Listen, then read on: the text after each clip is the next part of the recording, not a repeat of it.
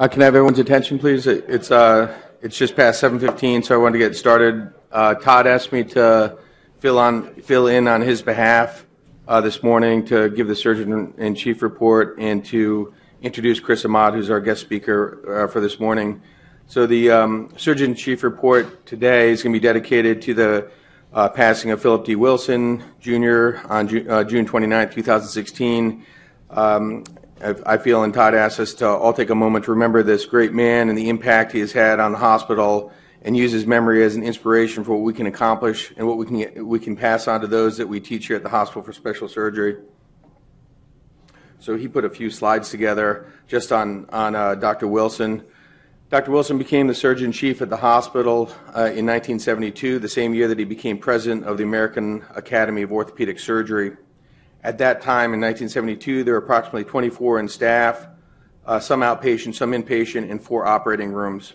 He was responsible for the transforma- transformation of the hospital from an institution with great local recognition to one of international acclaim. Uh, during his, uh, by, by the end of his, uh, or I'm sorry, during his 17-year tenure, he developed a significant research program, uh, the biomechanics division, and the birth of many innovations, including innovative total knee arthroplasty that dominated the world. He invoked the super specialization within orthopedics and innovated the residency program, growing it, growing it significantly and creating linked rotations for the residents with interconnectivity in their training, as well as daily lectures and teaching.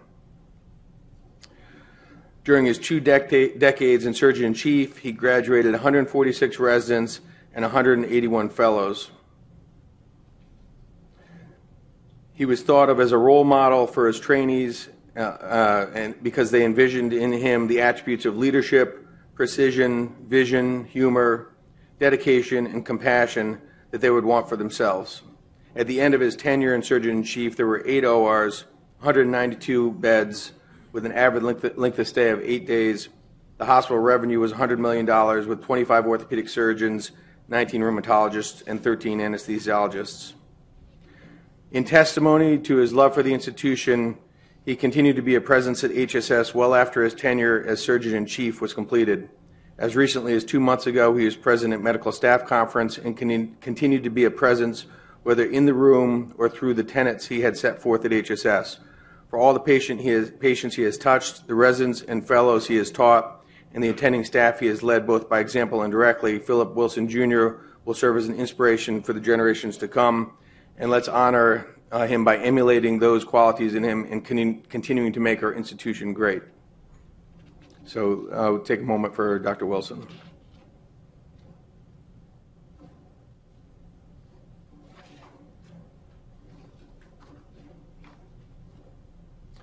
So uh, this morning we have the pleasure of uh, having Dr. Chris Ahmad, Professor of Orthopedic Surgery at Columbia University Medical Center, Chief of Sports Medicine, Head Team Physician for the New York Yankees, Head Team Physician for the New York City Football Club, and Vice Chair of Clinical Research.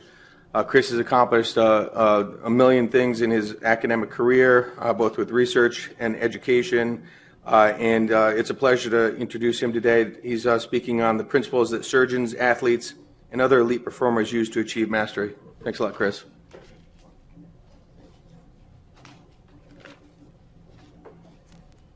Well, I couldn't be more humbled to be here. This is probably the highest concentration of surgical skill in the country sitting in this room right now. So it's really a privilege to talk to you about a topic that I really have a lot of passion about. And the reason why this topic became something of interest to me is because I've had the privilege, like many of you, of interacting with elite athletes, taking care of them. I've also had interactions with musicians of the highest level and it became clear to me that all of these people in talented worlds, whether it's chess, music, or sports, they use the same principles that we use as surgeons to get to the highest level. So I'm going to share with you some of these principles. And I think we would all agree being good or even great at something, whatever it is, parenting, cooking, or surgery, is probably one of the deepest and most fulfilling things that we experience. So, skill is the ability to do something that comes from training. You work at it and you get good at it. Mastery is having a real deep, profound knowledge that goes along with skill that real, really allows you to be even better at it. And for us, when we think of people who have excelled and got to the highest level, like the people in this room, it's very daunting. Sometimes we feel like we can't get there. There's these so called gifted surgeons. I'm going to talk to you about the so called gifted athletes and others that really have made it to that level through a process and not through natural ability. So this is Earl Woods, and he's a teacher of military tactics. He played high-level sports in college. He was on his second marriage when they had Tiger, and he was retired, and he was dedicated to the training of Tiger Woods. So at age seven months, Tiger has a putter in his hand, and by age two years, he's practicing on the golf course. So in four, at age four, he has professional instruction and by age 19, he's already had 17 years of high level instruction. And for many of us, I'm in my 15th year of practice, he's already had more training at the age of 19 than I've had in my professional practice. This is an interesting story about chess players. Polgar sisters. There's a gentleman, his name is Laszlo Polgar, and he's a chess coach and a psychologist, and he has this theory and belief that he can train and create the best chess players in the world. And he wants to do this experiment. In order to do it, he needs some offspring. He's having a hard time getting some offspring, so he actually advertises an experiment in the media and says, I'd like to have offspring with somebody to run this experiment, and he gets a taker. They produce three children. Out of those three, Judith and Sophia become the number one and number two chess player in the world. In fact, Judith beats um, Bobby Fischer as the earliest grandmaster at age 15. This is a facility. We often think it's got to be about equipment or it's got to be the environment, which it probably is, but it's not so much about technology. This is a facility outside of Moscow. It has two tennis courts. These two tennis courts produce more top 20 female world rank tennis players than the entire United States. There's something about the environment, and this is Matthew Syed, who's a tremendous table tennis player. In his community, 50% of the top table tennis players came from the same street. So I look at this sign walking through the academy meeting at the exhibit hall, and you can read it orthopedic surgeon, split second decisions takes years of experience. And this concept of 10,000 hours has become very popular. Everybody's heard about 10,000 hours. This is what 10,000 hours really is. It's about four hours a day for 10 years. You break it down 20 hours, 50 weeks, and but really this didn't come from Malcolm Gladwell who popularized this. This came from a social psych, uh, psychologist, Anders Ericsson. He retrospectively reviewed the best violinists and compared them to weaker violinists, and he found out that the best ones happened to average 10,000 hours, and the weakest one averaged much less. So this became popular. If you're going to be good at surgery, you're going to be good at sales, or you're going to be good at anything, you just need 10,000 hours. In fact, that was Malcolm Gladwell who said that, but Anders Ericsson just came out with a great book called Peak, and he said it's not really the 10,000 hour rule that we talk about so frequently now. I'm going to explain it in some various different methods on how it's not simply 10,000 hours. So my son happens to be here, and he is very interested in chess. He goes to a school that has a big emphasis on chess. This is the Scholastic New York City tournament. Big ballroom at one of the hotels, chess games going on at every table. This is him playing. I dropped them off. You're not allowed to go in the room. You can't watch. You got to wait outside with all the other parents. They go in, they play a game, they come out, and if they win, they continue to play. Here's the thing about chess at this level every move that they make, both the player and the opponent have to write down every move and record it. E4, E5, knight F3, knight F6, bishop C4, that kind of stuff. So the reason is afterwards, to get better, you meet with your chess coach and you go over every move. And every move is analyzed as either a great move, acceptable move, or a blunder. You put yourself in a position of losing something like your queen. And this relates to medical training. So medical training resembles this. We have residents who meet patients, do physical exams, we observe them, then they come and present to us, and then we critique them on whether it was a good move, a good exam, a good diagnosis, or not. So it's this constant move by move. It's Friday morning. I'm with you. Usually Friday morning at 6:30, I'm doing what we call a surgical techniques conference for our residents and our fellows. And each week, one of our fellows or residents presents a case step by step and goes through it, and we stop them at every point and tell them if it was a good move or a blunder. I'll give you an example. This is a case being presented to us. It's a distal biceps repair. This is the exposure. Say, wait a minute. This exposure is not so good here. What's a better way to get exposure? What's a better move? And the fellows say, well, I'm going to put a retractor in. Retractors help with exposure. What kind of retractor? Where are you going to put it? Well, I'm going to put a Hohmann in, a levering retractor. Where are you going to put it? I'm going to put it on the radial neck. Really get that thing exposed. Well, which side of the radial neck? I'll put it on the radial side. We would call that a blunder because the PIN is on the radial side of the radial neck, and PIN palsies after this operation are extremely common. So in this conference, we taught everybody how to avoid that blunder, and it's extremely powerful. It's not why did you do that, it's what would you do with if the exposure is poor, if the portal's off, if the graft doesn't look good.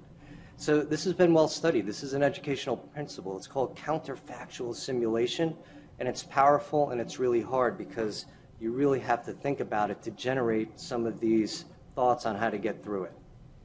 This is Magnus Carlsen. He's hanging out the Marshall Chess Club. This is in uh, West Village one of the most famous chess clubs in all of the world. Washington Square Park right next to it. It's a photo I took. These guys playing chess over here. I had to take a step back because this guy said 10 bucks if you're going to take my picture. So Magnus Carlsen is the number one chess player in the world, and I got to visit the Marshall Chess Club with a grandmaster. He took me there. He wanted to show me what chess world is like. There's only 50 grandmasters in the entire United States. And it became a question of whether these elite grandmaster chess players have these amazing IQs and amazing intellectual capacities. Can they project more than anybody else? And in fact, the answer is no.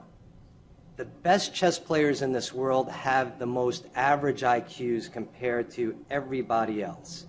Here's an experiment. If you compare masters to novices, and you place a chessboard with pieces on them randomly, and you ask them to look at it for a few seconds and recreate the board, novices are terrible. They get five, five pieces out of 25. And the experts, they get them all correct.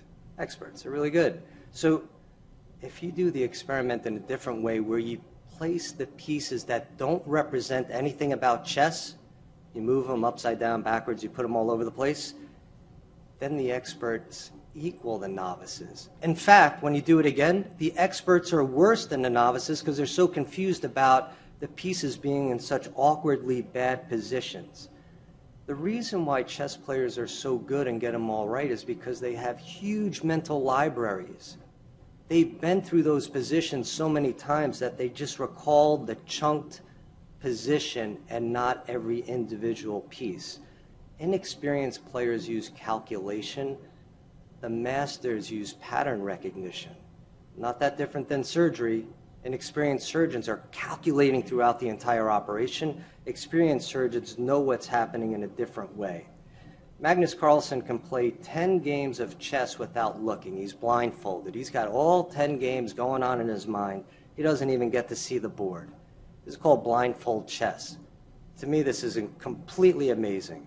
Alexander Alekhine, 1924, plays 26 blindfolded games in this country and United States and in New York City, in fact. And if you think about how much material and information is going on, it's utterly ridiculous. This is how he developed this technique. In 1914, it's Russian, he's playing in Germany, war breaks out, and he gets held hostage with all the other Russian players. And while they're held hostage, these chess players start playing chess with each other just by talking. E4, E5, knight F3, knight F6, bishop C4, and that's how they play without boards, and that's how we learn to do it. So grandmasters, in fact, see collections of chunked information interacting with other information. They see the board much different than the novice, and they can assess weaknesses and strengths. Why is chess so powerful for us? It's because as we develop our skill, we see much differently than, say, the novice. If you're a beginner or you're a novice, you don't want to make the moves like they do. You want to see like the expert, not be able to do like the expert. Hey, this kid's nine. He's playing what's called simul chess. He's not blindfolded. He's moving around. He's playing all these guys. These are all masters, not quite grandmasters yet. Look at this poor guy, master, losing his queen. This guy's trying to intimidate him. So these simul games are very popular. Bobby Fischer, playing 50 games in a row, usually does not lose a single game, and all of these players are talented. That seems incredible to me. I know the talent in this room, and if you've been to an OLC or a large cadaver course, many of us can't relate to playing simul chess, but all of us, I think, can go around the station and if it's an ACL or if it's a shoulder instability case, we can walk to every station and say, hey, off here, move this here, do that, and go to the next one and come back and recall what was happening during that procedure. And that's because we have these mental libraries that we can draw off of.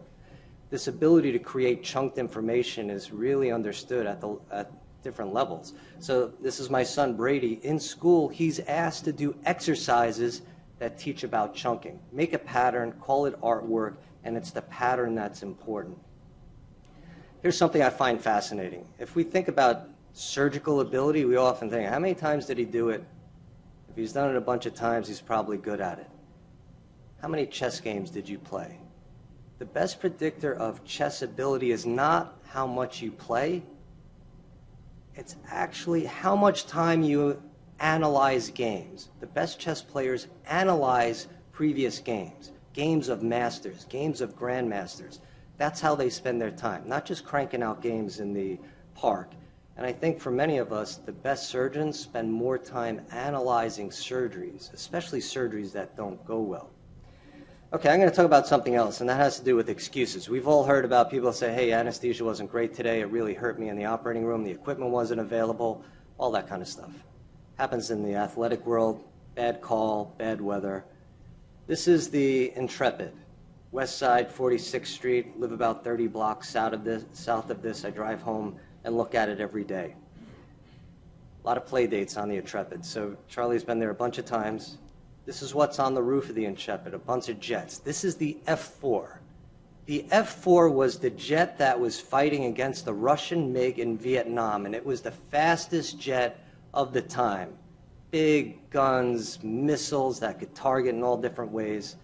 And the U.S. was always proud about their kill ratio in previous wars.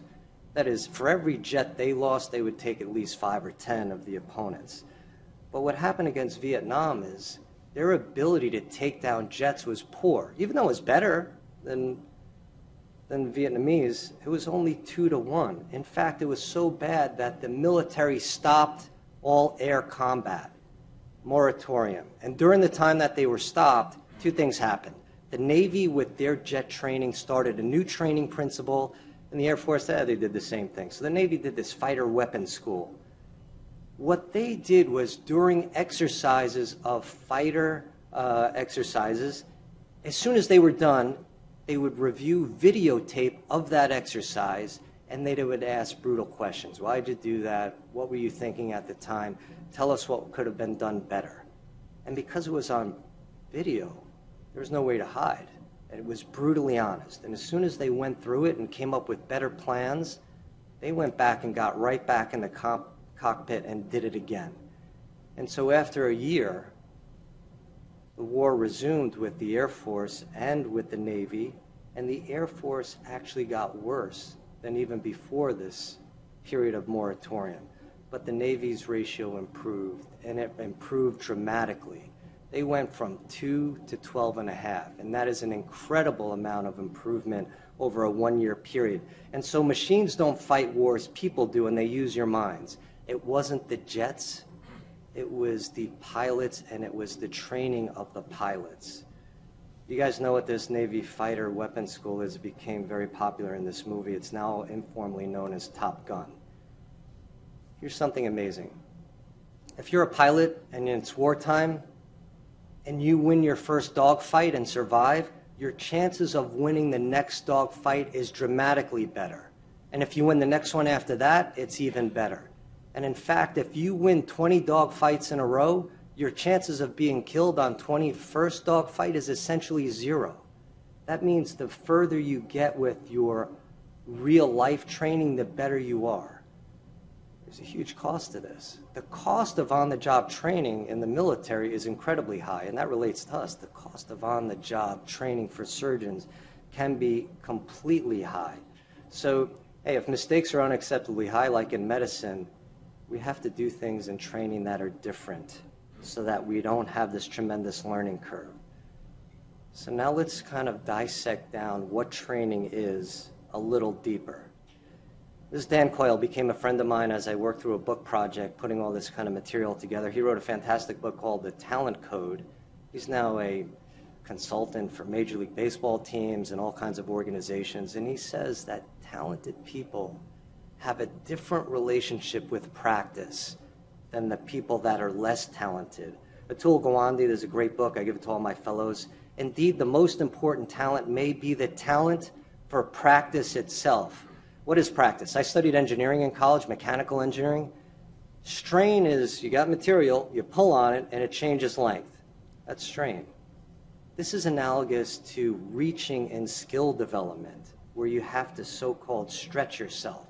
Now let's contrast that to time. Many of us think that time's important. How many did you do? How long you been doing it for? That's what patients want to know. How many of these operations did you do?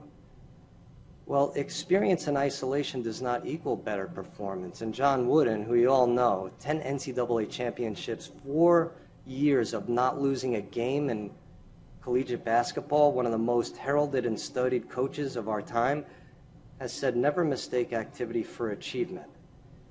I cover about 80 baseball games a year. Often I drive from Connecticut to Yankee Stadium and I put navigation on like all you guys do, and I make phone calls the whole way home, uh, all the way to the stadium. There was a day when my nav wasn't working. I pulled over, I hit the thing, I restarted the car, it wasn't working. I could not get to the stadium.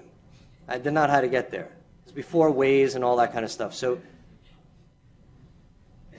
there is passivity in learning, just like there's passivity in driving. So if you're involved with residents and fellows and they're in the case and they're working through a total shoulder, they could have done 300 total shoulders, and if they're passive in the process, they didn't pick anything up. So time as experience may not be as important as that reaching component, which is strain times the amount of time you spend at it, is really how you equate skill. And we should avoid this trap of years passing by where we're not stretching ourselves because it'll signify that we're not improving. So there's a comfort level. You all heard of this. Get, uncom- get comfortable with the uncomfortable. That means get outside your comfort zone and do things that you find that are hard. There are reaches. This is the amount of time you did it. How many cases did you do and, and things like that? There's ways to enhance your reaches. Brazil has amazing soccer players. In part, it's because of this. They play a game called futsal they get a huge amount of touches in a short period of time. The skill development going on in this type of environment is much more powerful than 11 versus 11. I played college uh, soccer here at Columbia, and when I was a kid, we developed by playing in the backyard. We just played backyard, three on three all day long. And now we have a lot of 11 on 11 games with our youth athletes. Look at how much more touches you get on the ball. That's how you develop the skill for when you can get to the higher level. So it's amount of reps. We can figure out how to get reps in surgery. We got all kinds of simulators and things like that. Be happy to take questions about that. But here's something that I think is underutilized, and this is feedback. In the loop of practice and getting better, you have to do it, you have to get feedback, then you have to make a correction, and then you do it again.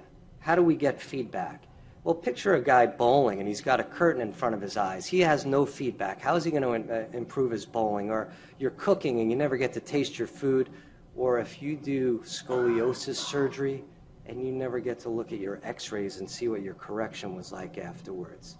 Immediate feedback is the best feedback in general.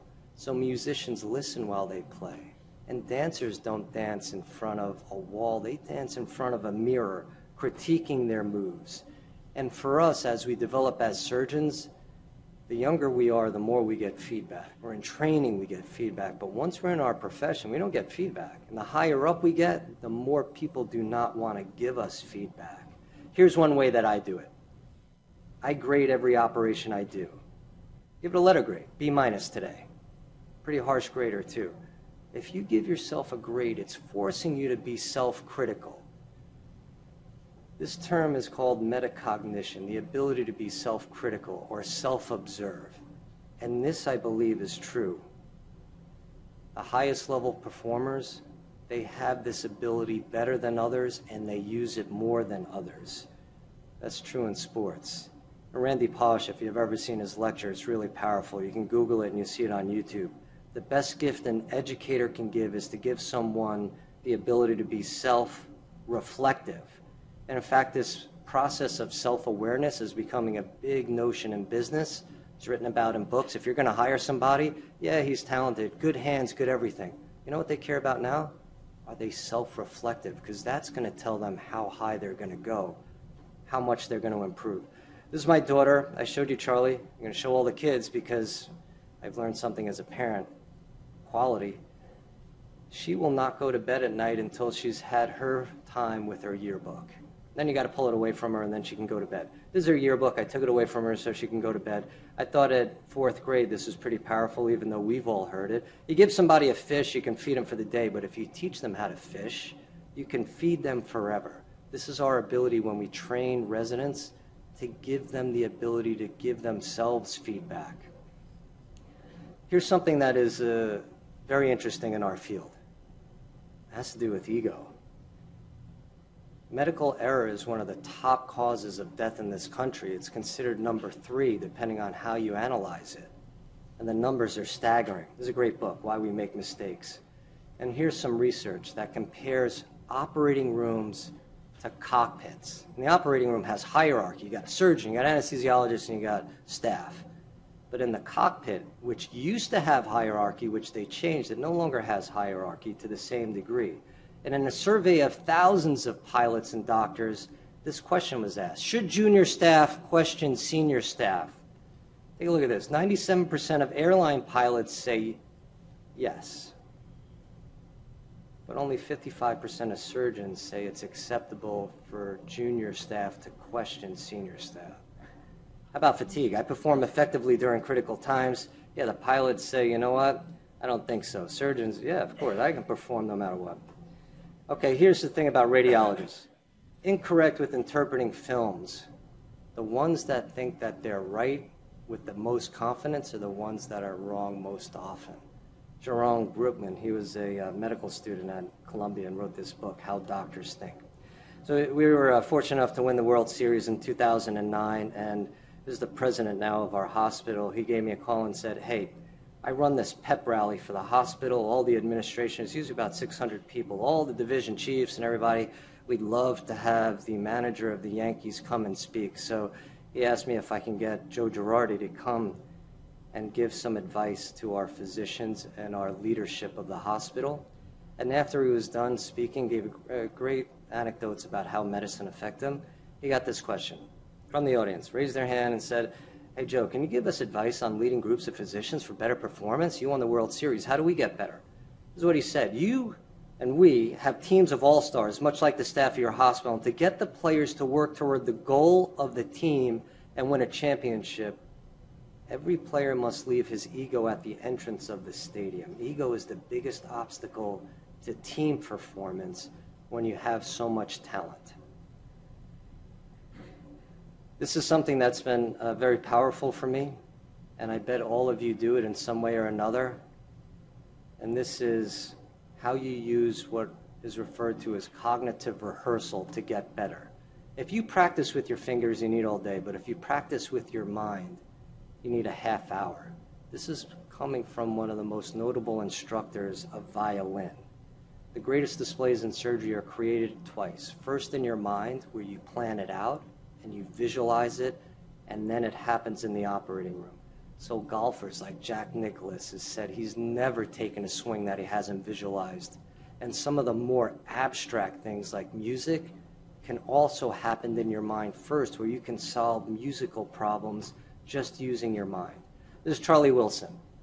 He's a neurosurgeon in San Francisco, now retired. He pioneered this transsphenoidal pituitary surgery, really breakthrough uh, in his field.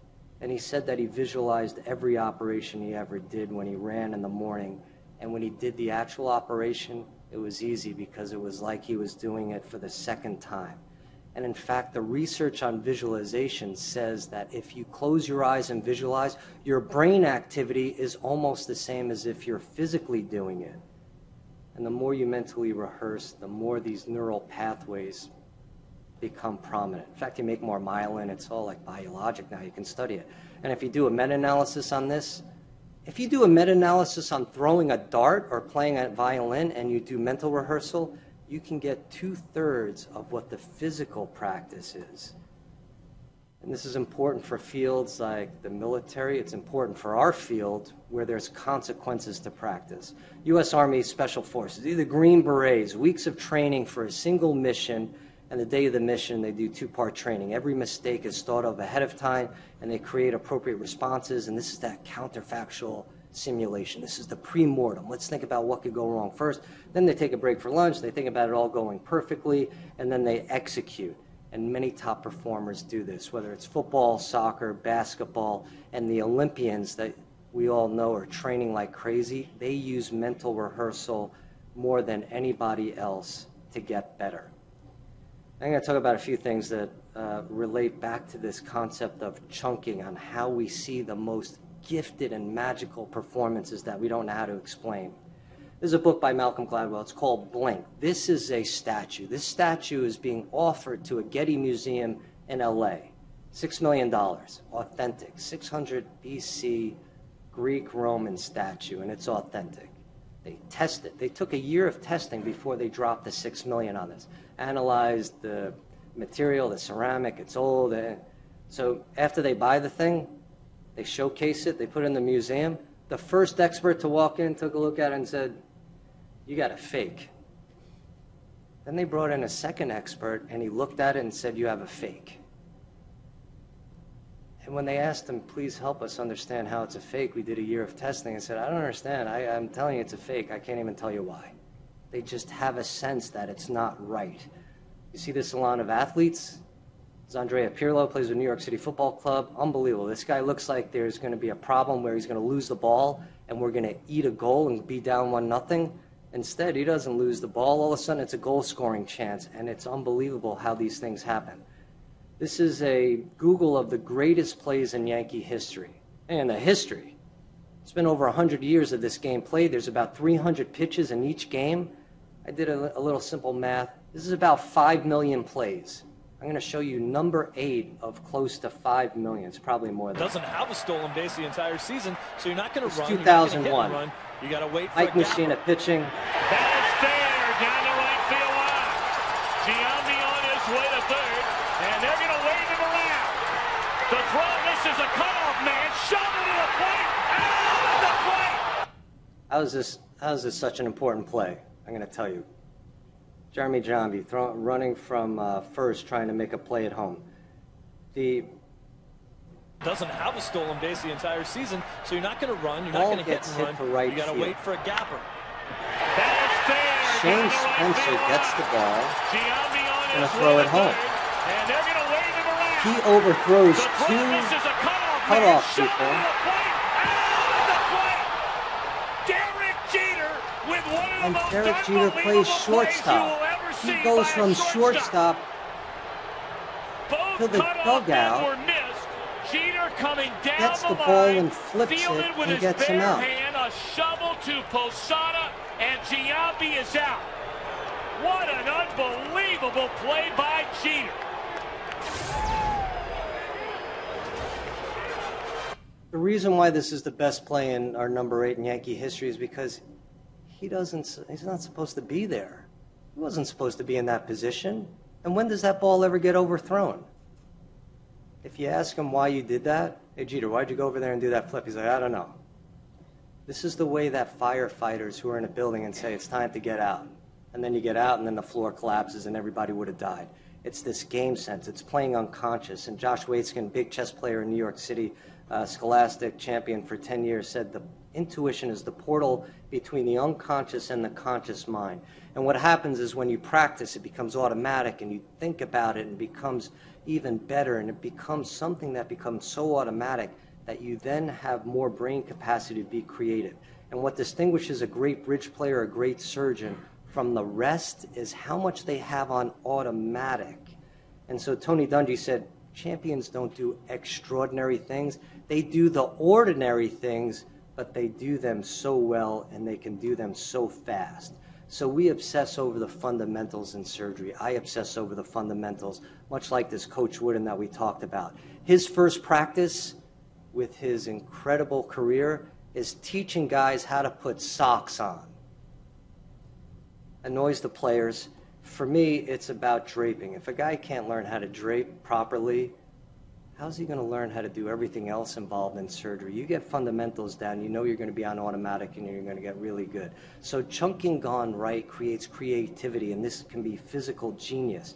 And when you think about it in tennis, novices watch the ball, but the experts watch the racket. And some of the best players, they watch the body movement and they look at the whole movement, and that's how they know where 140 mile an hour serve is going to go.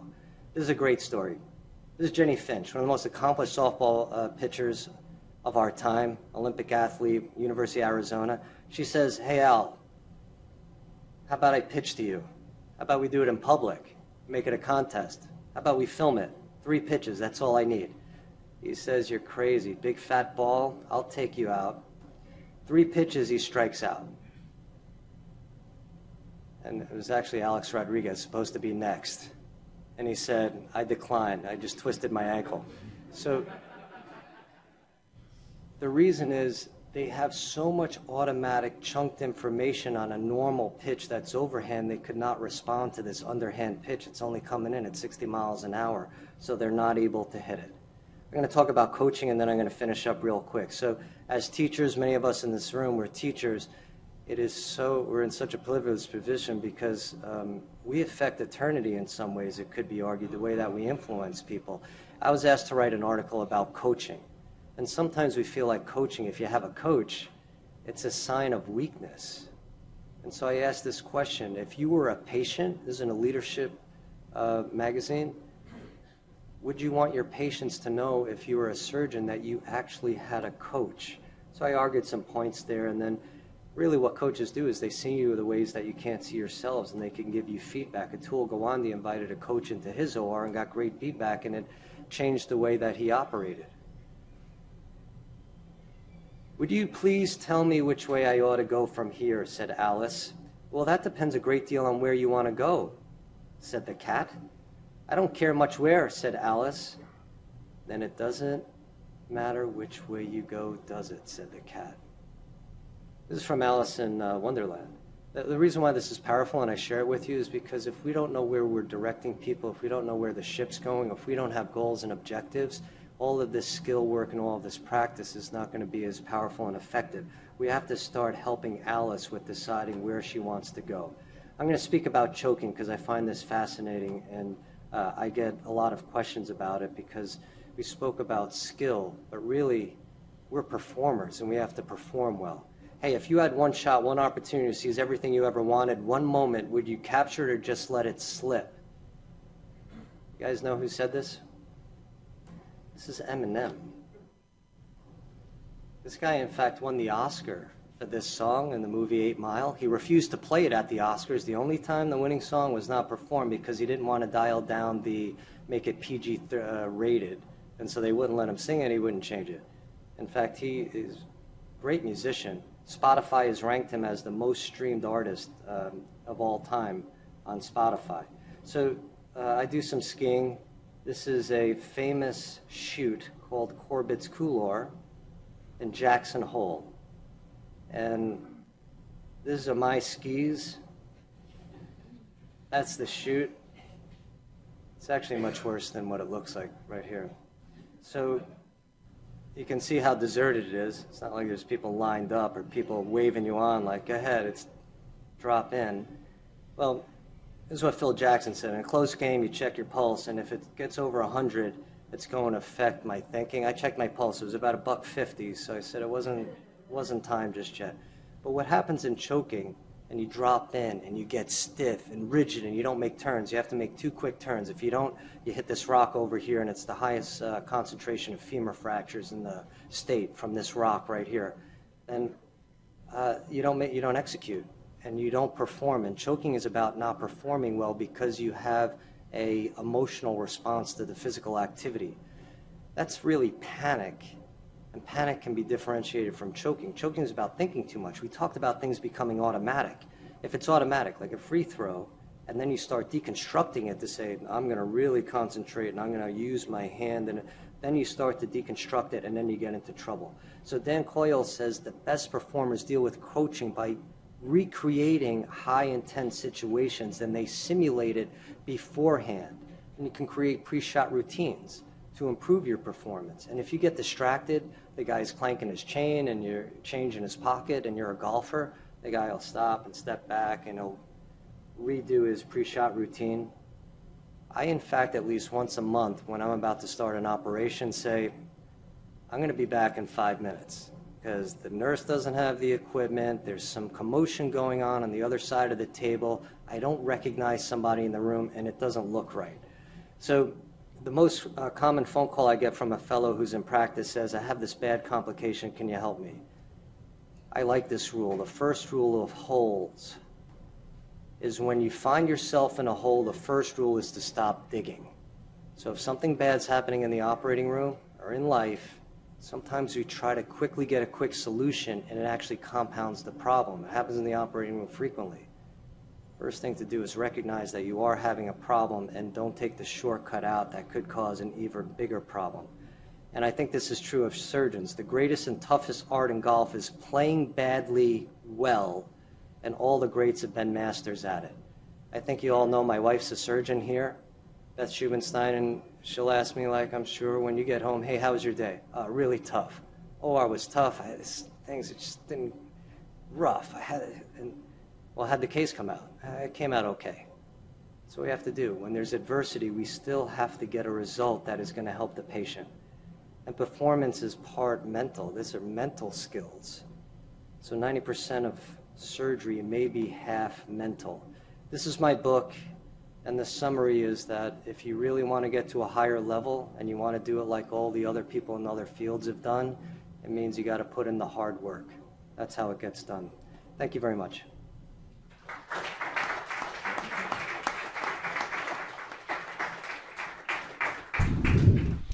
Thanks a lot, Chris. That was that was a great talk, and really appreciate you coming here. Um, I guess we have a few minutes if we want to open up for questions for Chris. Chris, are you, how are you uh, integrating this into the education of the residents? are you trying to integrate these principles with the residency and fellow training?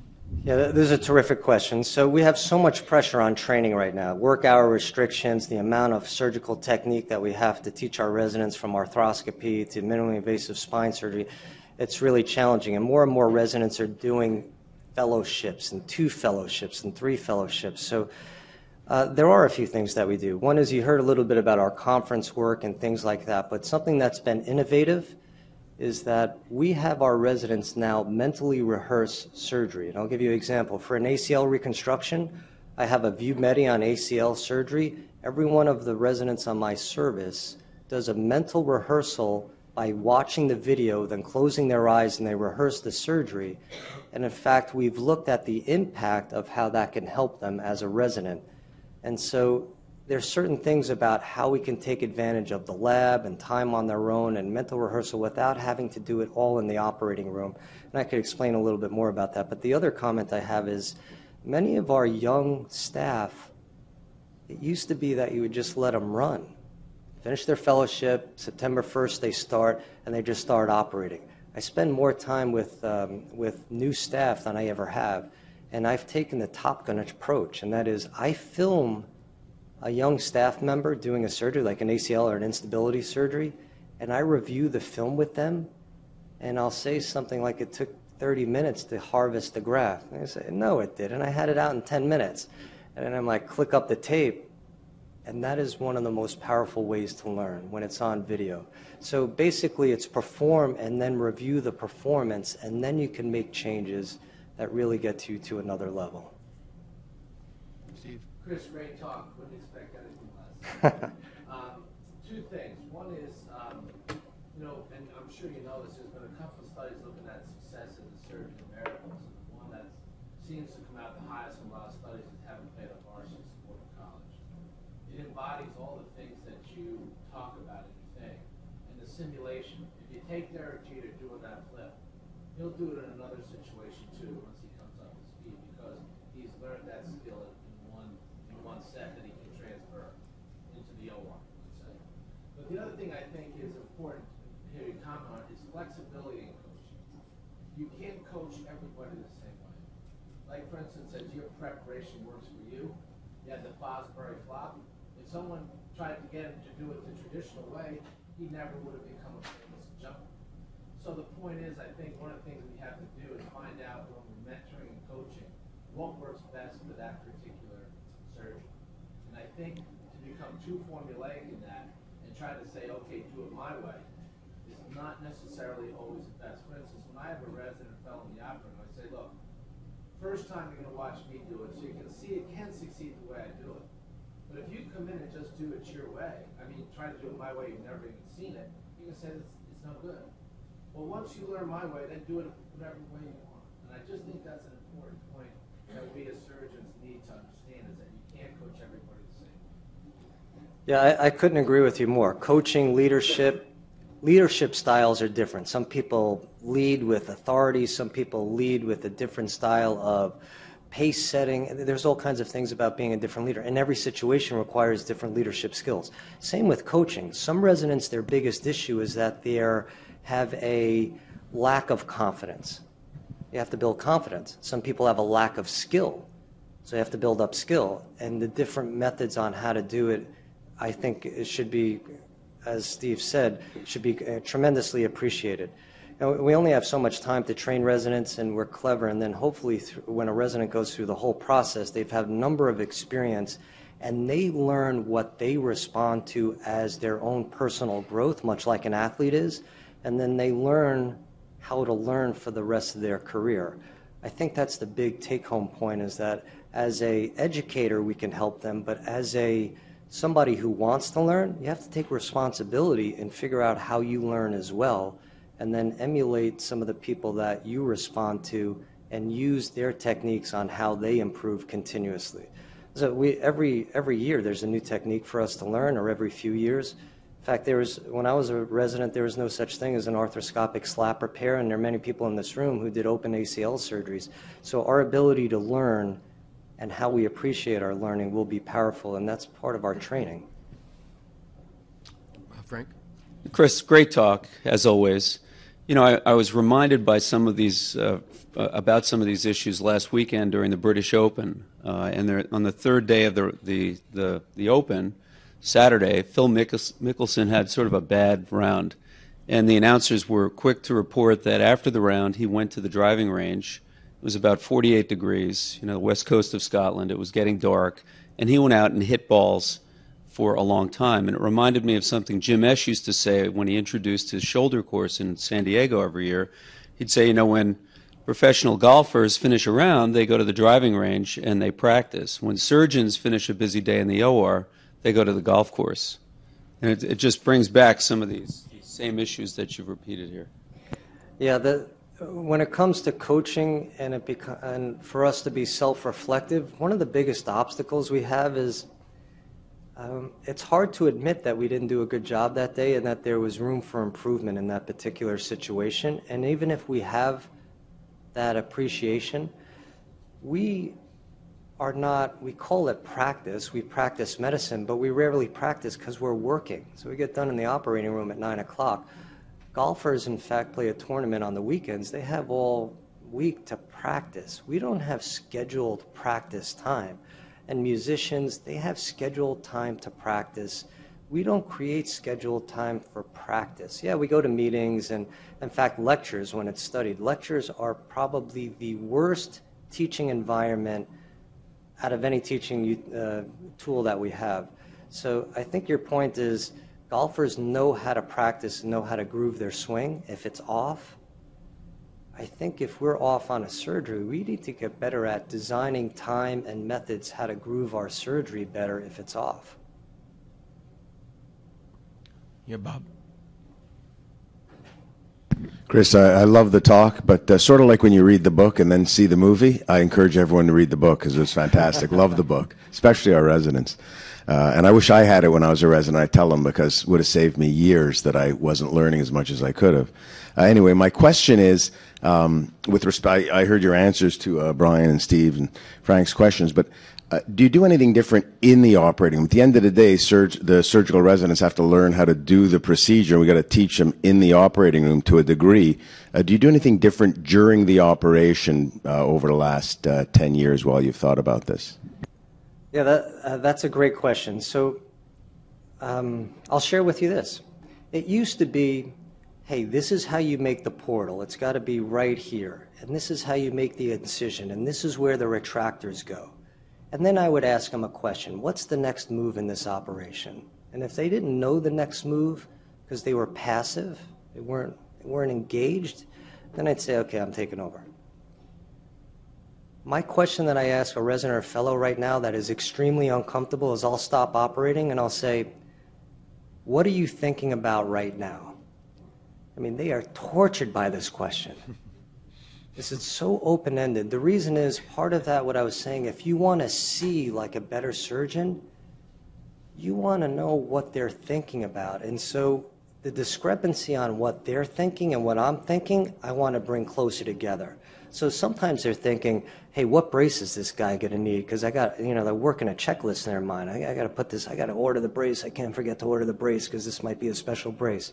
But if I ask somebody what they're thinking about and they're saying, I'm thinking this dissection on the subscap is so complicated that I would be getting a hand surgeon ready because the axillary nerve is in jeopardy. If a fellow ever said that to me, one, I would say, call up the hand surgeon. This is the greatest. I'm going to take that advice.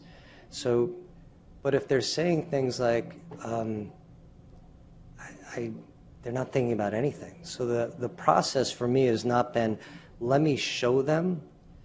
And Charlie actually told, uh, taught me this quote, uh, this quote. You show them, they don't learn. You teach them, they remember. But if you involve them, they learn. So involve them in the surgery rather than just showing them and having them execute steps. And that is what are you thinking about? The hard part is during an operation, you can't spend a lot of time having a 20 minute discussion. So that's why we often have this case conference or this surgical conference to go through it, and then we can flesh out so many of these little details. Thank you very much, Chris. That was an incredible talk, and really appreciate you coming here. Um, I just had one last announcement. Was uh, they asked me to remind everybody that the application for research funding for, from the Surgeon Chief Fund um, is the deadline is August 15th. So if you guys have projects that you wanted to try to get some uh, funding through the Surgeon Chief Fund, you have to get the applications into Todd uh, by the middle of August. Thanks everyone for coming.